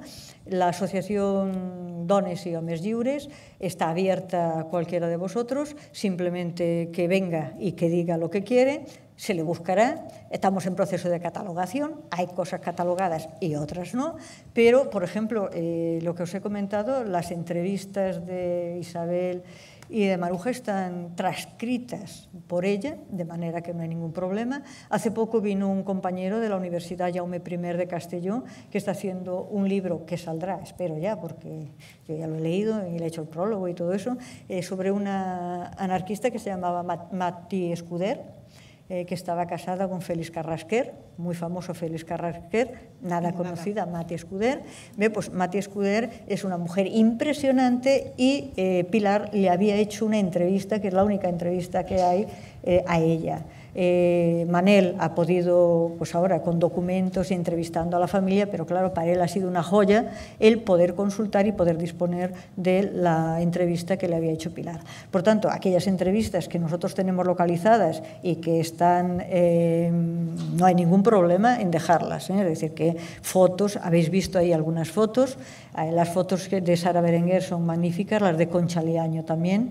Hay varios vídeos de Concha Liaño en bruto, que es lo que antes íbamos a pasar, eh, que se pueden también consultar. Entonces, es simplemente que os pongáis en contacto con nosotros, que no hay ningún problema. Al contrario, la idea nuestra es que vosotros podáis disponer eh, de lo que, del trabajo de Pilar. ¿eh? Aparte de todos los problemas de propiedades intelectuales y eso, que hasta que no estás metido no sabes nunca lo tiquismisqui que puede ser el personal a la hora de decir que algo era de él o lo dejó él o que no te da permiso. Pero bueno, eh, que sabéis que ella sobre todo trabajó mujeres anarquistas y desconocidas. Es decir, que si queréis recuperar no hay ningún problema, os ponéis en contacto con nosotros y dependiendo del horario de apertura, porque tampoco está bien todas las horas, eh, claro, pues podéis sin ningún tipo de problema reproducir fotos, eh, vídeos, etc. Vale. Y empezamos turno de palabra entonces.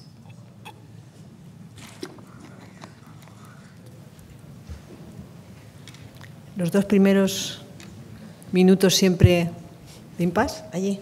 Carlos, que lleva el micro.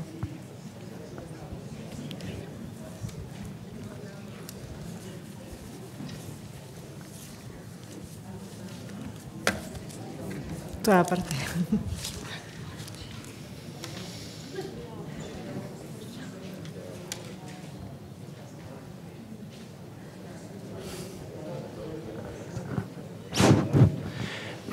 Hola, buenas tardes. Bueno, primero, muchas gracias por tu presencia.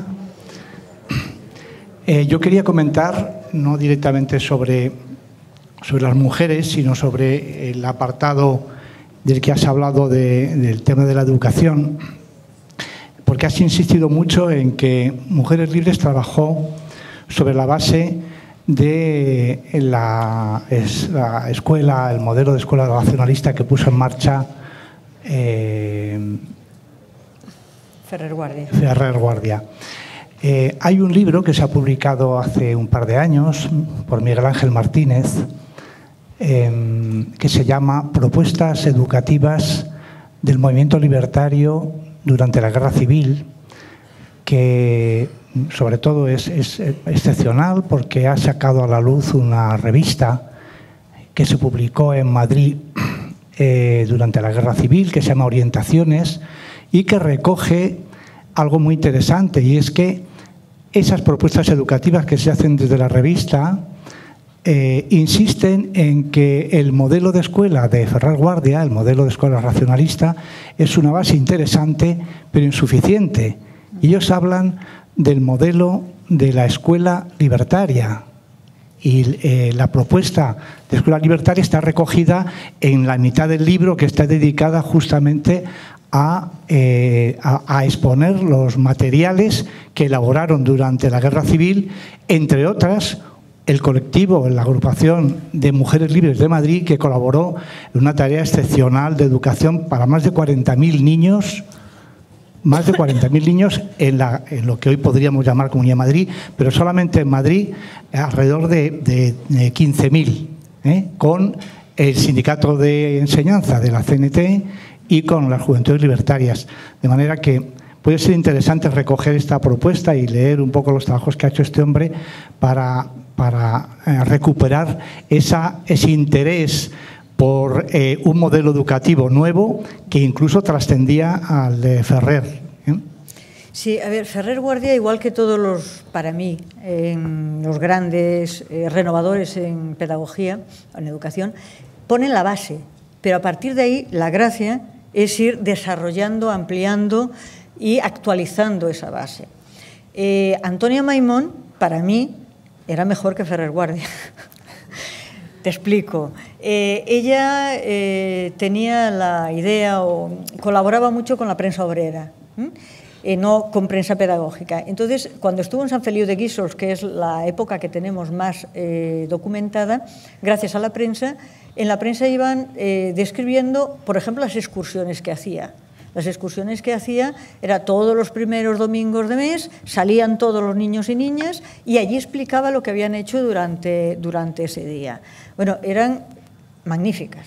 Es decir, una, no es solo conocimiento del medio que se dice ahora, sino que eran convivencia, eh, cómo compartían la comida que llevaban, cómo, eh, dónde iban, eh, con quién comían, a quién iban a visitar, cómo, qué transporte. Relatado por los propios críos. Entonces, claro, es una preciosidad. Entonces, eh, Ferrer Guardia diríamos que pone las bases, además él empieza en Barcelona. Eh, normalmente las propuestas de los pueblos a mí me gustan más que las propuestas de las ciudades, ¿eh? porque tienen, permiten mucha más imaginación. por ejemplo, la experiencia de Alginet, de Higinio Noja es una experiencia magnífica de escuela al aire libre, por así decirlo. La escuela moderna de Ferrer Guardia no era al aire libre, pero sí que hay muchas experiencias basadas en él al aire libre. Quiero decirte que Ferrer Guardia es el que pone las bases, las directrices, la escuela antijerárquica, la escuela antiautoritaria, la escuela sin premios ni castigos. Todo eso son eh, puntos básicos que después cada maestro y cada maestra irá desarrollando más o menos y algunos como estabas comentando, a unos límites que eh, incluso hoy en día nos pueden llamar la atención. ¿eh? Eh, nosotros como historiadores de la educación nos ha llamado mucho la atención que en los años 70 hubo muchas experiencias en escuelas y en escuelas públicas incluso, que después con la ley del año, con la LODE y después con la LOCSE, que son tan progres, se se, sí, se recortaron. Eh, conocemos experiencias de escuelas públicas en las que eh, se funcionaba de forma asamblearia con una participación enorme de padres y madres en lo que sería una escuela abierta. Eso después la LOCSE, y sobre todo la LODE, eh, lo, hubo, lo fue eh, estructurando en un consejo escolar. Entonces diríamos que muchas experiencias magníficas, innovadoras, que en parte diríamos, hombre, no eran Ferrer Guardia, no, no eran Ferrer Guardia, pero se introdujeron eh, en los años 70 incluso, han desaparecido, son absolutamente desconocidas y han sido recortadas por un modelo que se se nos ha presentado como el más progresista, el más maravilloso, etc. ¿eh? Entonces yo creo que es muy interesante eh, que personas que han vivido o que han podido recuperar documentos de las escuelas, documentos que hacen referencia a experiencias educativas, los publiquen y los pongan a la, que nos podamos consultar toda la, toda la sociedad para ver que sí que es posible hacer una escuela diferente. ¿eh? El tema de la educación sexual, perdona, a mí nosotros nos llamó mucho la atención que eh, una señora muy mayor nos contaba que en Beniaján, donde estaba Antonia Maimón, les explicaba eh, eh, a las niñas, sobre todo, todo lo que estaba relacionado con los ovarios, la regla, etc. Claro, Tú imagínate, en los años 30 Antonia Maimón hacía educación sexual dentro de la escuela, algo que después ni en los 70 ni en los 80 e incluso en los 90 eh, y ahora en muchas escuelas no se hace. Entonces, claro, esa, esa vertiente que dices, bueno, es que evidentemente Mujeres Libres estaba por una formación sexual que se da desde la escuela y la escuela es un medio perfecto para empezar a hacer una educación afectiva y una educación sexual de niños y niñas. Hay por ahí una mano. Sí.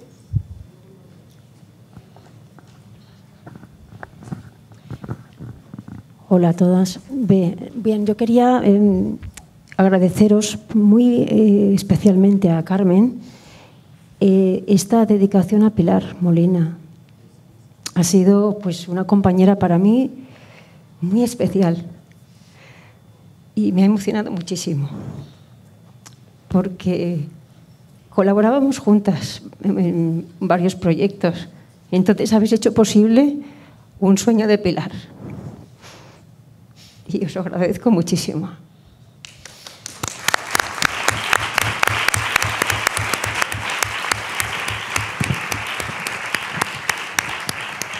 Suscribo también las palabras de Sara Berenguer, porque yo la conocí, Pilar, como íntima amiga y de verdad que era una persona especial, encantadora, solidaria. Estuve en su casa muchas veces y sentí pues como una puñalada, tal como pues fue todo el proceso que le llevó a este destino tan fatal que nadie esperaba. Gracias por, por este legado que habéis recogido. Muchas gracias. Sobre todo el legado es que vosotros y vosotras lo continuéis, es decir, que está pero lo que hay que hacer, a mí lo que me duele mucho es que se haya borrado a Pilar de la historia. ¿eh? Entonces, que se hayan hecho exposiciones y que se hayan hecho algunas cosas en las que Pilar que ha sido un personaje importante, que ha colaborado y que ha eh, que tenía unos materiales muy importantes haya desaparecido, es por lo que yo hoy quería decir que, bueno, que cuando hablemos de alguien hablará de nosotras cuando hayamos muerto, no estemos pensando en las personas de, hace muchos años, sino que incluso hoy en día, por desgracia, continuamos teniendo eh, ese defecto de borrar a algunas personas. Y eso es por lo que hoy queríamos reivindicar, sobre todo reivindicándolo con su trabajo, es decir, que estamos exponiendo entrevistas, fotos, actividades que ella hizo para que veáis el potencial que hay allí de una persona que trabajaba, que trabajaba bien y que tenía su carácter, ¿eh? también hay que decirlo. Sí.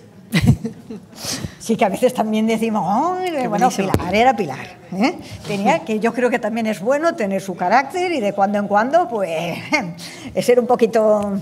Pero bueno, ¿eh? es que a mí esas personas que te venden de santos, de que al final ya tienes santos de la iglesia y santos, ay, era buenísima, maravillosa, maravillosa. Bueno, pues no, era muy simpática, era muy buena, era muy trabajadora, tenía una capacidad de trabajo increíble, era de un perfeccionismo desesperante. ¿eh? Porque para colocar la cámara podías estar media hora hasta que ella no veía que la cámara estaba exactamente en el ángulo que tenía, con la luz que tenía y tal. Y decía, ay, Pilar, ya. No, no, no, no, todavía. ¿eh? Pero quiero decir, era muy perfeccionista, eh, desesperadamente perfeccionista, tenía su carácter de cuando, cuando se cabreaba, pero yo creo que eso es lo bueno de las personas, es decir, era una persona viva y una persona, pues, con sus cosas. Como todas. Como todas. Hay una, a mí me encanta eh, quien dice que los únicos que no tienen sombra son los fantasmas. Ahí hay una compañera detrás del todo. Hola, eh, bueno, he, venido ahora precipitadamente, tenía mucho interés en escuchar tu intervención, Carmen, eh, pero no ha podido ser. Quería aprovechar el hecho de que tú, bueno, eres un estudioso en estos temas y, y también el hecho de que siempre acabamos quedándonos en el olvido, para recordar que, bueno, hace poco eh, un amigo de la CGT me enseñó una enciclopedia estupenda sobre el anarquismo español. Creo que la conocéis, de Isaac, en la Fundación Isaac. Eh, vale. Le dije, creo que ya sé el fallo que tiene. Antes de mirarla, efectivamente, ese es el fallo que tiene. Cuando empecé a mirarla, la, enciclopedia eh, efectivamente tiene muchas biografías y bien documentadas. El problema es que no están las anarquistas. El porcentaje de mujeres anarquistas que hay ahí es mínimo. Eh, mínimo de forma que le dije, esto no puede ser una divulgación del anarquismo del siglo XX, no puede ser de ninguna manera. Habría que ponerse las pilas para poder ajustar un, o realizar otro tomo el tomo que corresponde a, bueno, a la, que dejen constancia de todo lo que han sido y el papel que han desempeñado todas las mujeres anarquistas eh, a lo largo de este, del, siglo XX. Allí no hay rastro. Quedan algunas figuras insignes, se remarca algunas eh, mujeres que han sido sobresalientes, pero yo no creo que desde el anarquismo podamos permitirnos esos olvidos. Son olvidos eh, sin querer, podríamos decir. A ver, son, son, costumbres. Lo digo para no parecer, en fin, eh, más... Eh, ya, ya, ya. Pero creo que este es un foro muy adecuado para sacarlo a la luz, para ver si desde aquí la propia editorial o tú mismo, Carmen, o eh, otras de las estudiosas que, conocen bien las figuras anarquistas, no solamente eh, aquellas figuras más conocidas, sino todas esas mujeres que han estado trabajando y que trabajaron y que hicieron tanto eh, por muchas cosas, no solo por el anarquismo, que, que darán constancia. Creo que no se puede mantener esa enciclopedia así y creo que de alguna forma nos corresponde a nosotras y a nosotros eh, reformarla o mover algo para que se pueda hacer ese tercer tomo y para que se pueda contar con tus estudios o la colaboración de la gente que sea experta en estos temas. Eh, no sé si conoces la enciclopedia, Carmen, y la conoces, ¿no?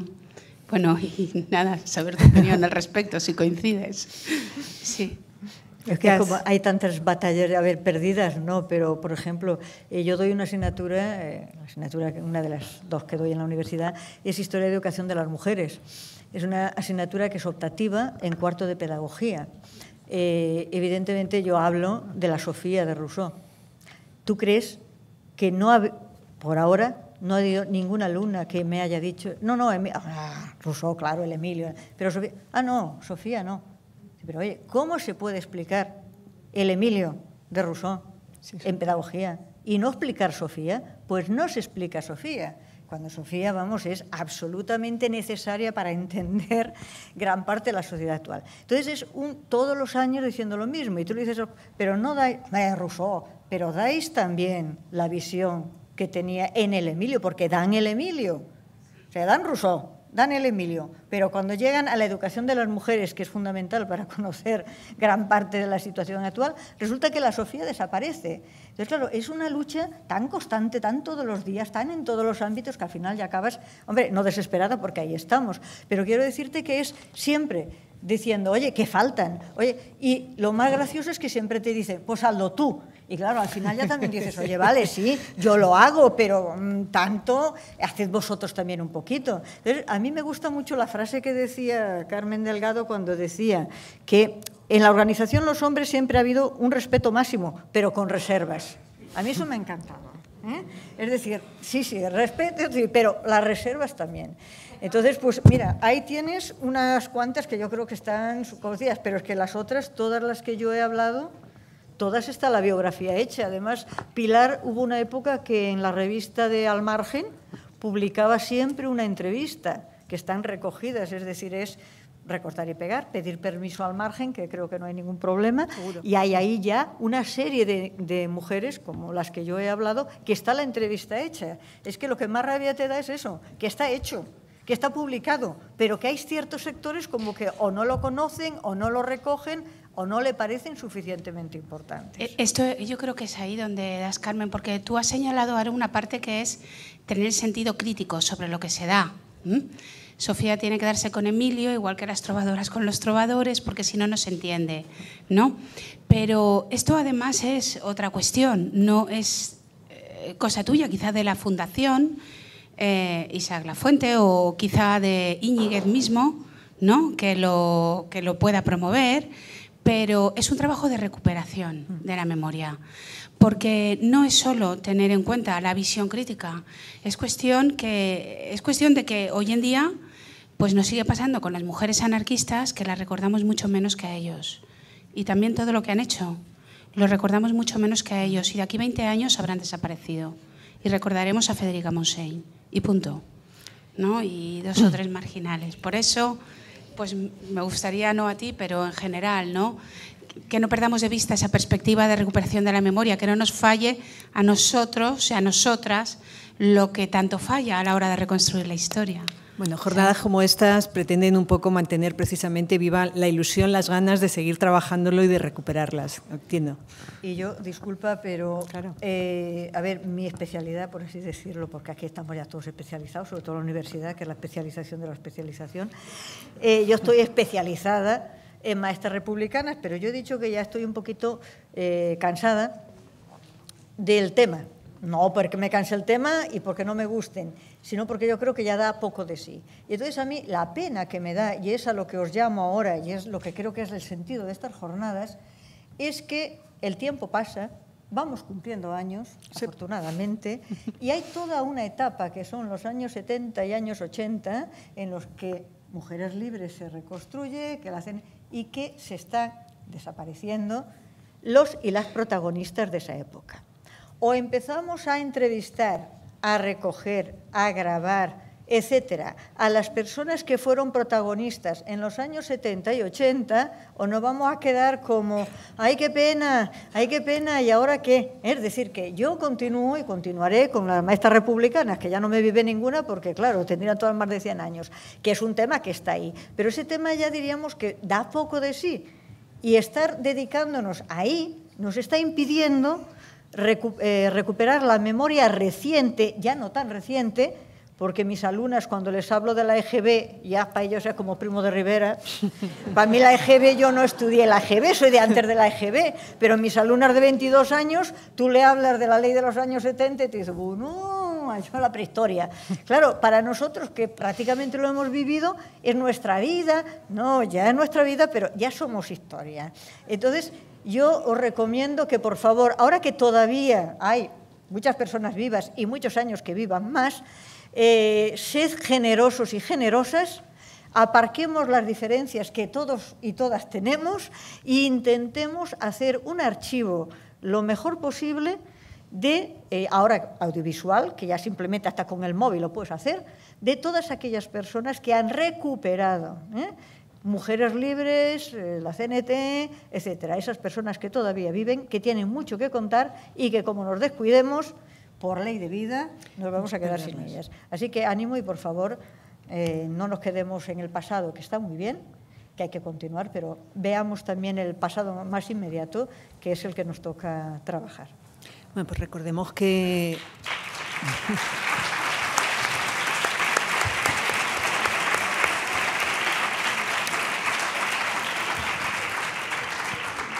Decía que precisamente Laura Vicente está, ha hecho un primer libro de, de, las mujeres de Zaragoza y en esa línea también está investigando. Empieza a trabajar, se lleva razón, que darnos cuenta de que hay, hay lagunas que hay que empezar a cubrir.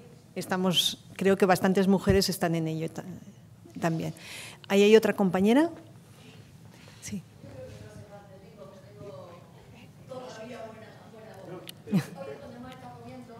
No, no, no, mejor, porque es que así se te graba. Así se te graba. Para la posteridad. no sé dónde está el micrófono.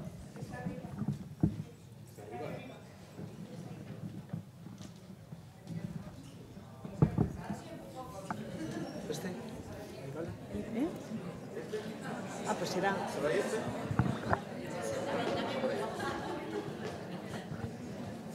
¿Y eso? Ya les van. Bueno, lo de dar las gracias y todas esas cosas me lo como. Que hoy cuando hemos estado comiendo un poco de las viejas estas ya que estamos, eh, pues mm, como el movimiento se demuestra andando, lo que yo digo que hoy antes de irnos de aquí haya alguien que sepa escribir o maneje mejor que nosotros las datapuercas el móvil, nos comprometamos a dar los nombres, las direcciones y una fecha porque es que de verdad cualquier día, hoy esta decía, no, pero si yo no me acuerdo de eso, a mí ya se me va la bola. El otro, y es que nos hemos reído tanto y hasta hemos llorado cuando hemos contado todas las cosas que hacíamos. Cómo era de verdad cuando las mujeres estábamos en la CNT y las cosas que hacíamos. Cuando se montó, que yo llegué de las últimas mujeres libertarias, porque yo siempre he estado peleando donde los militares. Pero las últimas revistas, montones de anécdotas que se me han olvidado. El otro día cuando fui a, ¿te acuerdas? A la lo de la sal. Pues yo que estoy a medio camino. Una vez me voy con la Anselmo Loreso y otra vez con la otra. Pero cuando fui allí decía, eh, tráete todas esas cosas que tengo que grabar, que tenemos que hacer.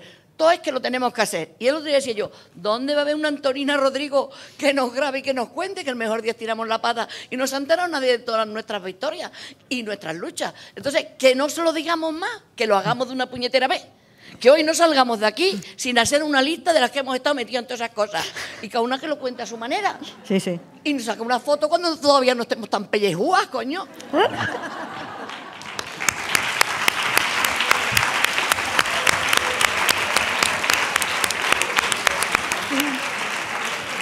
Así todo, por lo que estabas comentando, eh, yo soy partidaria de juntar a varias personas por lo que estabas comentando de las lagunas mentales que todos empezamos a tener. Eh, entrevistas individuales están bien, pero no puedes hacer una individual, una individual, pero hacer eh, entrevistas juntas de varias personas que hayan estado en lo mismo es magnífico porque te permite recordar fechas, recordar, discutir eso de eh, fue el año tal, ni se te ocurra que el año yo no podía ser. Entonces, para después, a la hora de trabajar la gente que tenemos que trabajar, es muchísimo más rico el poder tener ese debate ya hecho cuando se puede hacer. Entonces, las entrevistas individuales evidentemente son preciosas, te puedes explayar lo que quieras, pero después es muy interesante cuando se puede conseguir a gente que ha estado en el mismo grupo, que entre ellas recuerden hechos concretos, momentos concretos, eh, por eh, contrastar. Porque la memoria es, la verdad es que cada vez la tenemos peor. Uy, uy. Que no, que no, que se fue cuando se operó mi marido, tuvo que ser antes. Y yo, Que y sí, fue que sí, antes. que sí, que sí. Entonces, pues, nos vamos hablando. Entonces, ese grupo que estamos aquí, que estas son de, de CNT, la otra es SGT, la otra de Mujeres Libres, la otra de Mujeres Libertarias, vamos a juntarnos, pero antes de irnos de aquí. Muy bien. Eh, queda tiempo para una intervención. Mañana no venimos. Queda tiempo para una intervención cortita si la hay y si no lo dejamos aquí. Irene, ¿sí? No, yo al apunte a lo que ha dicho Isabel. Pues aquí ahora mismo debe de haber por lo menos 15 o 20 o a lo mejor alguna más mujeres que estuvieron en los 70 y los 80 en los colectivos de mujeres libres y de mujeres libertarias de distintos sitios del Estado. Hoy aquí La historia igual hay viva. 15 o 20. Pues. Bueno, pues nos quedamos aquí. Seguimos en-. Deja- damos por terminada la, la jornada porque ya Tenemos que salir. a- tenemos que salir, no tenemos tiempo para más. por- pero que podemos ¿Quién es? fuera, ¿Queda ¿eh? una? No, es que habíamos quedado fuera, ¿no? Sí. Recordaros que salimos ahora todas fuera a, a concentrar.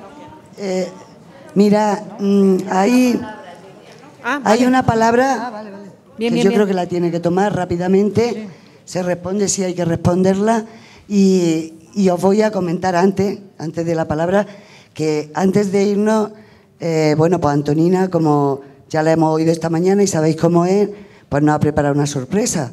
Y entonces la sorpresa es que una amiga muy querida de ella, que ha venido a verla, pues nos va a cantar un tango. ¿eh? Se llama Miriam Panela y Penela, perdón. Y bueno, en cuanto la palabra termine y la contestéis, pues la, la escuchamos. Que vaya subiendo.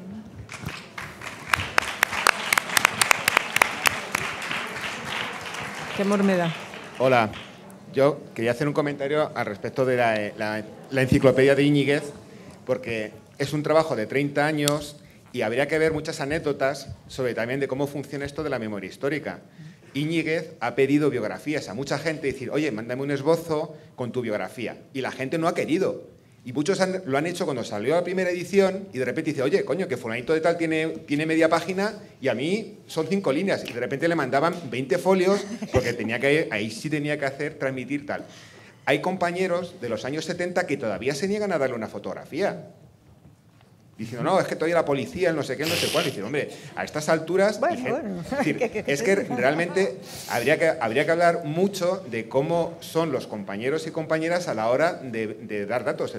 Él ha tenido además, sobre todo ha sido a base epistolar, eh, eh, lo, que ha, lo que ha realizado, y evidentemente falta mucha gente, sí, pero es que realmente no es una tarea de Iñiguez encontrar todos estos nombres. Él, todo lo que ha encontrado lo ha, lo ha introducido y está reflejado en esta enciclopedia que habrá que desarrollar y será un trabajo colectivo de mucha gente. ¿no? Entonces, no, yo ahí quiero, creo que hay que agradecer porque ha sido un trabajo importantísimo, que ha sido un antes y un después, que la U, que la U, vamos, el PSOE a través de la Pablo Iglesias sacó su biografía de militantes socialistas porque le dijeron, joder, los libertarios que son cuatro mataos tienen esta enciclopedia, nosotros no la tenemos.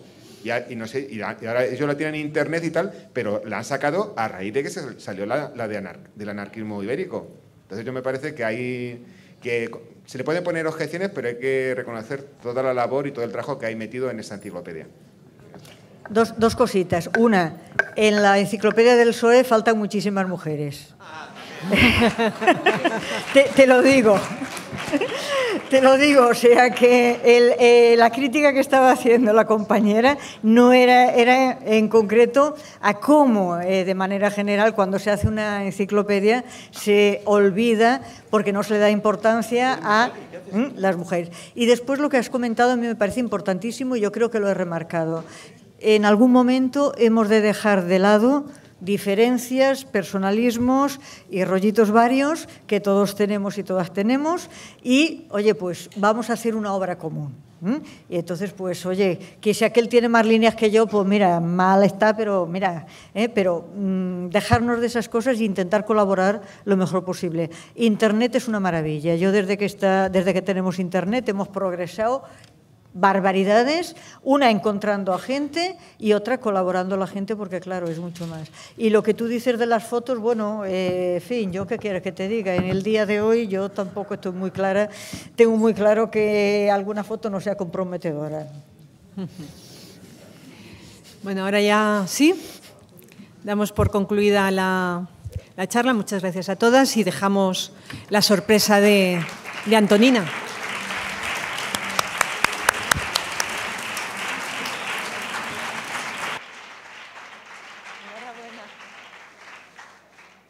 Bueno, buenas tardes. Primero me voy a subir el micrófono porque si no voy a dar el do de pecho. Y no. Quiero avisar que yo venía hoy a escuchar una charla interesantísima y a encontrarme con una amiga que como vive en Barcelona no tengo posibilidades de verla muy seguido. Y he estado con ella y me dice, oye, ¿por qué no cantas? Y la verdad que esta sorpresa es para ustedes y para mí también al mismo tiempo. O sea que estaba ahí y mm, dije, bueno, pues cántate uno de esos tangos feministas. Y en realidad yo lo que tengo es un espectáculo de tangos de mujeres, que como bien he sabido, el tango es una música muy machista.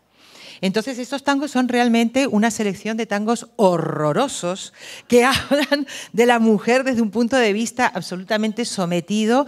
Y bueno, se podría decir, porque son muy viejos, que son tangos que están ya pasados de moda, aunque no sé, porque hay muchas cosas que están incorporadas en el día a día y que aún hoy nos cuesta detectar, ¿no? Esos micromachismos que están muy normalizados y que, bueno, que pasan desapercibidos casi.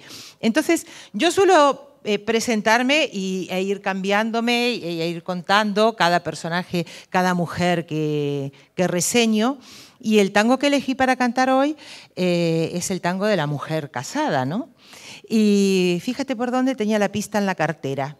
O sea que estaba absolutamente prevenida.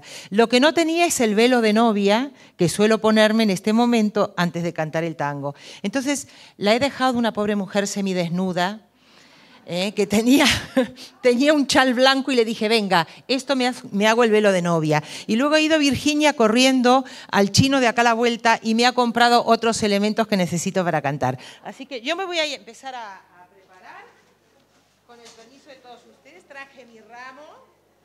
Y entonces, un aplauso aquí para...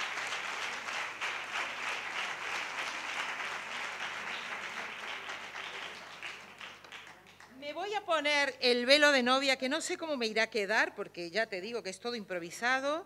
Espero que no se me caiga en el medio de la canción.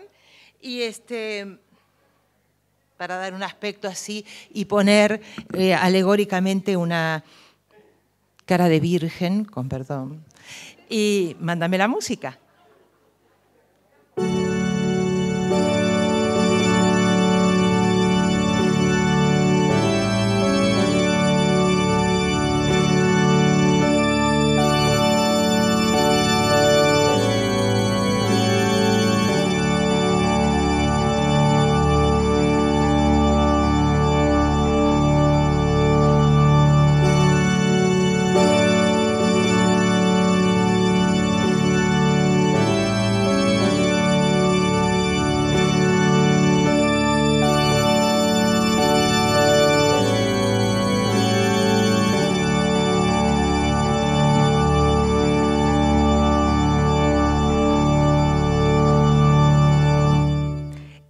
Varón con esposa como yo vivirá como quien vive en un Edén. El marido que conmigo se casó, ni soñó que nos lleváramos tan bien. De mañana me levanto porque sé que es humano prepararle su café. Luego marcho al mercado a comprar y regreso como flecha a cocinar. Preparo el bistec como un sabarén, descamo el besugo lo pongo al gratén y mientras se ducha mi dulce amorcito, surso calcetines cantando bajito. Si me sobra tiempo después de almorzar, loca de contenta me pongo a planchar. Yo le digo, papi, y él dice, mamá, esto sí es amor y no lo demás. No me gustan los tacones ni fumar, ni los lujos, yo no tengo pretensión. Y de noche cuando acabo de cenar, lustro el piso para hacer la digestión. Y si al cine me convida alguna vez, yo le acepto con tímido interés. Luego a casa retornamos con placer y hago todo lo que queda por hacer. Preparo el bistec como un sabarén, descamo el besugo, lo pongo al gratén y mientras se ducha mi dulce amorcito, surso calcetines cantando bajito. Si me sobra tiempo después de almorzar, loca de contenta me pongo a planchar.